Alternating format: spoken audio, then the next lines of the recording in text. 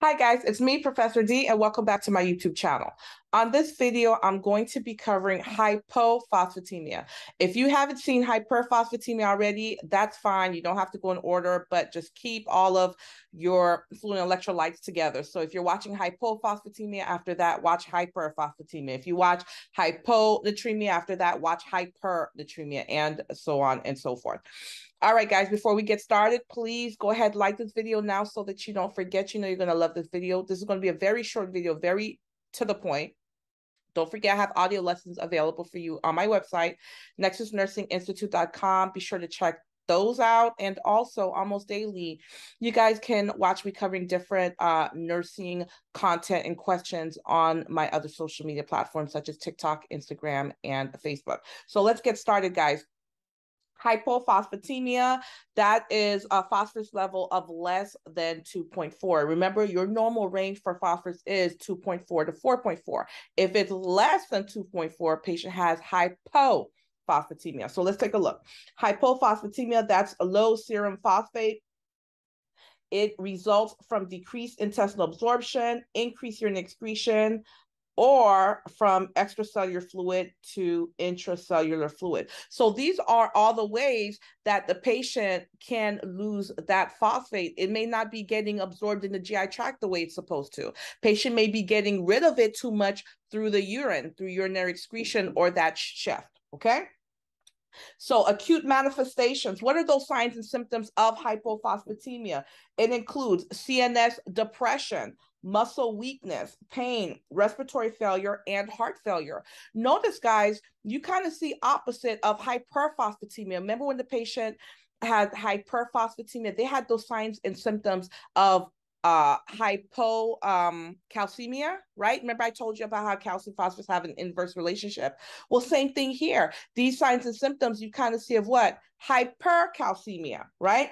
Chronic hypophosphatemia alters bone metabolism, resulting in rickets and malacia. Why? I um osteomalacia. I want you guys to think about this for a moment. One second, guys. One moment. Okay, there we go. Sorry about that, guys. So if you guys can recall, in the last video when I was talking about hyperphosphatemia, I explained how uh, the uh, uh, phosphate, what it would do was pull um, calcium out of the bloodstream, and that calcium had to go somewhere so it would lodge in the bones, uh, tissues, things like that. Well, hypophosphatemia, not having enough of a phosphate, it has the opposite effect. Instead of pulling that calcium out of the blood, where do you think it's pulling calcium out of? The bones right? And that's why you'll see the patient will have um, altered bone metabolism, and we'll see patient will have things such as rickets and osteomalacia. That's very important to understand. Guys, if you get a question about hypophosphatemia, it's going to only be on a couple things. This is going to be one of them. Make sure you know it. Managing mild phosphorus deficiency involves increasing oral intake of dairy products. Why? I just told you with hypophosphatemia, the calcium's being taken out of the bone. So we want the patient to get um, a higher intake of calcium. So this is great for them to get dairy products or phosphorus supplements, phosphate supplements.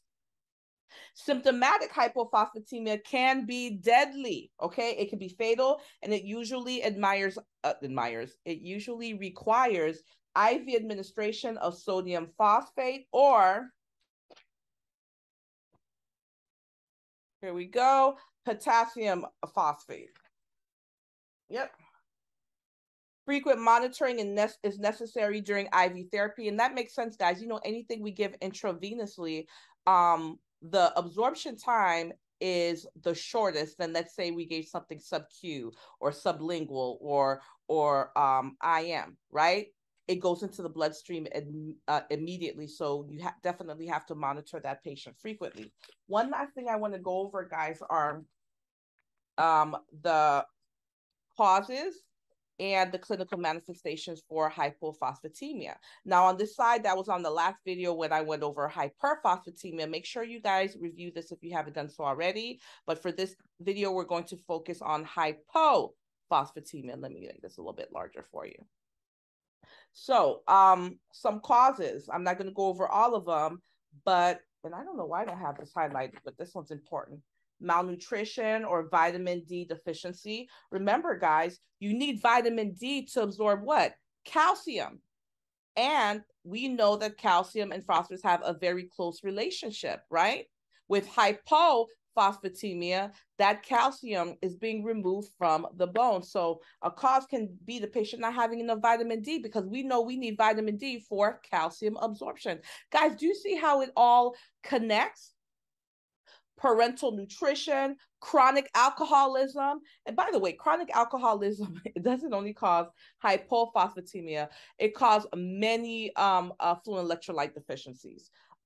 What else? Phosphate binding antacids. So that makes sense. If the patient's taking a whole lot of phosphate binding antacid, of course it can cause hypophosphatemia. Hyperparathyroidism. Remember, guys, the parathyroid glands, those four nodules that sit right there on that thyroid gland, the parathyroid glands are responsible for what? Calcium. To be more specific, calcium in the blood. So if a patient has hyperparathyroidism, they're going to have high calcium where? In the blood.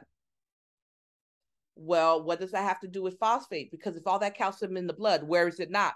in the bones. What is hyperphosphatemia? It takes calcium out of the blood and into the bones. Do you see how it all connects? Let's go to signs and symptoms for hyperphosphatemia, um, hypophosphatemia, excuse me, hypophosphatemia. I keep talking too fast. Muscle weakness.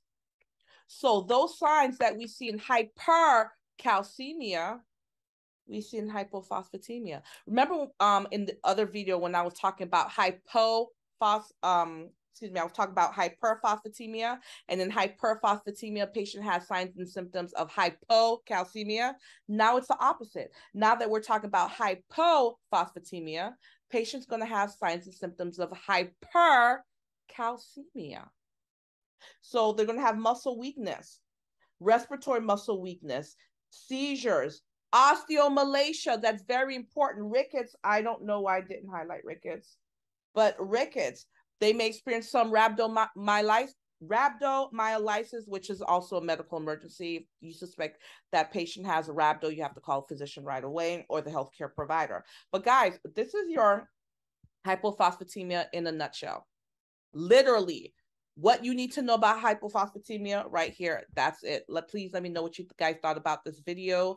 Um i have lots of fluid electrolytes to go. Next video i'll be covering magnesium magnesium imbalance. So i'll be going over hyper and hypomagnesemia Please let me know in the comment section what you thought about this video. If there's anything you'd like me to cover that I haven't done so already. If you haven't already liked this video, please do so now before the end of this video. Don't forget to subscribe to my channel. And I have audio lessons available on my website, nexusnursinginstitute.com. Thank you so much for watching this video. And you guys catch me on the next video.